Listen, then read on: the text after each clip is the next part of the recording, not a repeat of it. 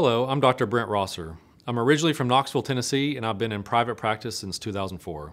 I'm a graduate of Lipscomb University and the University of Tennessee School of Medicine. My wife Abby and I have four children. I enjoy UT football, soccer, traveling, and we're very involved in our church. My favorite part about pediatrics is watching my patients grow and develop, and especially having conversations with hilarious preschoolers.